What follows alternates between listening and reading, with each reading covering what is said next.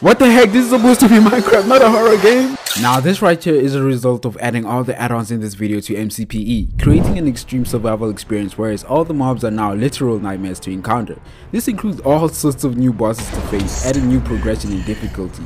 Bro, when I tell you this will be hard, I ain't lying. This list has add-ons that also create random events like tornadoes, adds new structures to explore, and even dragons. Yes, dragons. Matter of fact, this video is sponsored by a game that includes dragons too.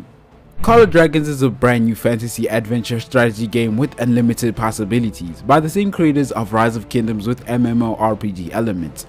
Your main goal is to protect your homeland called Tamaris from mighty behemoths, which are ancient and powerful beasts created by darkness. Defeating a behemoth doesn't only mean huge rewards as a defeated behemoth will join your alliance and fight alongside you, becoming your secret weapon in battles against other alliances. How you train your behemoth is entirely up to you as there's multiple skill trees to choose from. Pairing your behemoth with the right combination of units and heroes could be your path to domination. With the guidance of a wise beastmaster, your behemoth will be entirely unstoppable. There is a truly huge scale of battles as you can deploy up to 5 legions, each consisting of 1000 units then team up with alliance members in rallied armies of over 40 players to unleash hell on a colossal scale. I found myself enjoying this game so much that I've created my own alliance called My World which you can join as we aim to defeat this behemoth. What are you waiting for? An adventure filled with magic, monsters, and mastery awaits. Download Call of Dragons on PC from the first link in the description as it will help the channel out a lot. The first add-on in this list is Arduous Complex, which separates the health and hunger bars, meaning a full hunger bar won't replenish your health anymore, which you now have to use traditional methods like crafting bandages or creating a healing remedy with a bow. It also adds in a heart shard ore, which can be mined to drop pieces of heart shards you can combine to create a heart crystal, used to increase your hearts. Note that it has a maximum of 10 uses. The next feature is sure to make you feel lost in your playthrough as it disables coordinates up until you craft or find a compass, making it much more difficult but rewarding. Speaking about rewarding, an add-on that does the complete opposite is Thirst add-on, which punishes you for not drinking water with nausea and death. There are items that will help you create drinkable water like the water recovery, the water extractor, and the water distiller, which makes water buckets much more useful. The canteen can be filled from these new items but has a capacity of 3 uses before running empty. Heavy loads is a slight yet noticeable feature whereas vanilla armors now have weight like they should, affecting your movement speed when wearing one of these armors. The amount of movement speed will vary depending on the armor for example netherite will weigh the heaviest given the slowest movement speed. Moving on, this add-on adds a blood moon that will happen randomly making mobs more deadly. For example, skeletons will have enchanted swords and axes.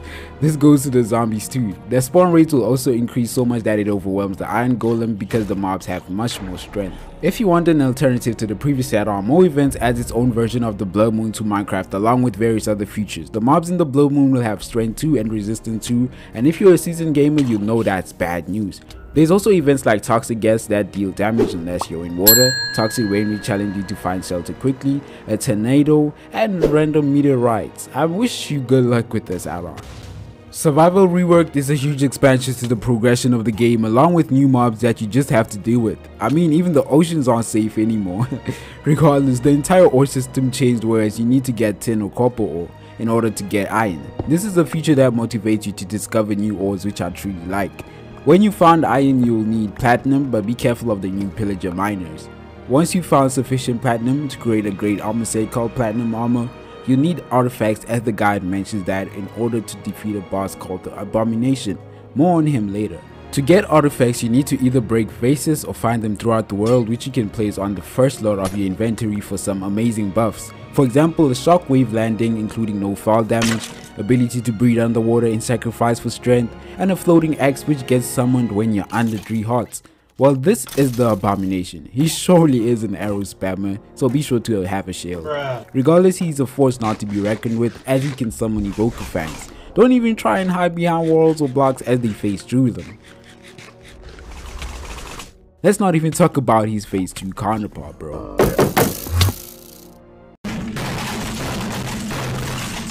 Once you hopefully defeat him, the nether will be unlocked and mobs in the overworld will progressively become more powerful. What I love about this add-on is that it has a great progression system which makes up for Mojang's updates along with rewarding armors for defeating bosses.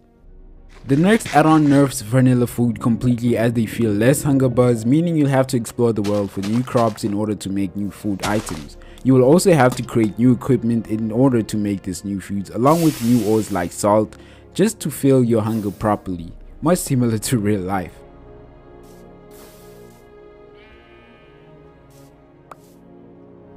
Welcome to my cooking show. I mean, I'm Gordon Ramsay, so I don't need no manual to cook for. Okay, don't mind.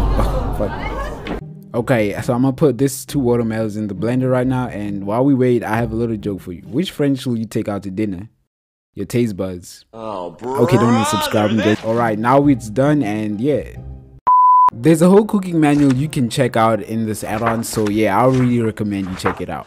One add-on you're definitely going to need is Rise More Tools, adding over 80 new items from tools and armor which have unique effects like the Sculk armor, much similar to the Warden, but releases a sonic boom when you hit, and the Soul Sword armor affecting mob with burning damage and slowness as if it's draining its soul, and finally the Quartz armor having a ram effect like the Goat. Warden Plus adds new mobs that are more aggressive, reactive, and intelligent than the traditional mobs, making them formidable opponents. These wardens spawn naturally in the overworld and some are just not meant to be defeated but to be feared when you encounter them, whereas you're only left with the option to run. Like trust me when I say, when you see this bad boy over here, just just log off the game because there is no way you're gonna defeat it. Total Carnage will make you hate cows as they turn into this dangerous and unholy beast. Matter of fact, most if not every single mob in this add-on is against you adding on to the challenge. What I like is that the mobs also fight each other being somewhat balanced. Some mobs in this add-on hide themselves only for you to be caught in their trap, like this chest actually being a gateway to the respawn screen. Others can be boss mobs ready to merge as soon as you break a block. For example, the Gravitite boss mob which will honestly put your rage quitting to the test.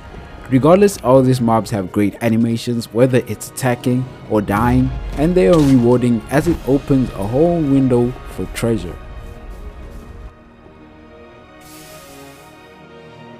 One thing I've noticed about this add-on is the amount of boss mobs which is honestly appreciated like the Moth Mother who will put you in a cocoon or the Fallen Summoner who is summoned when you break the bookcase on a pedestal that will ultimately cause a great dread if you're under geared and this worm that will pull you underground only for you to suffocate. So Naga is a dragon you can also encounter in your journey along with the floating chaos which summons meteorites to engulf the area with flames and explosions. Other dimensions are also covered in this add-on whereas you may meet new mobs and bosses which is great as there's a lot of content to discover. Another great aspect of this add-on is the armor designs which I'm confident you will love. Now going to the end dimensions for the next add-on, you will need end crystals to craft an item called a manifest used to summon bosses otherwise called disciples of the void. These bosses are creatures with deep lore found in the official page, whereas defeating them has a cool sound and access to new items. My favorite disciple is Aletara as he has a unique death ability whereas his sword will follow you for the rest of your playthrough which will try everything to kill you. Good luck with that. Ayo bro, go bro, what the hell bro? It offers a new armor set and a new ability with the blade that ends anything hot within the area. Extreme Mutants is a lightweight yet amazing add-on that adds new potions called Substance V and Solution U that can be crafted with obsidian and can be thrown towards mobs like the Stray or spiders who mutate them into these volatile and extremely dangerous beasts. Talk about a glow up. These mutants are really hard and you will need a decent armor set to even try and defeat these monstrosities. As I know you're going to die a lot, soulbound items as a soul anvil you can use to create a very useful enchantment called soulbound through the soul stone which makes any piece of item permanent, meaning once you die the item won't disappear from your inventory. This works for modded custom items too being a great add-on. Simple backpacks will help you survive the onslaught of all the mobs we've added so far, offering a backpack you can store all your items in it. It can be removed by interacting with the hand item and deleted with some shears. More simple structures includes many structures around the world that will make exploration worth it, as you can find dungeons and towers with all sorts of loot but they may have some traps, just be careful out there.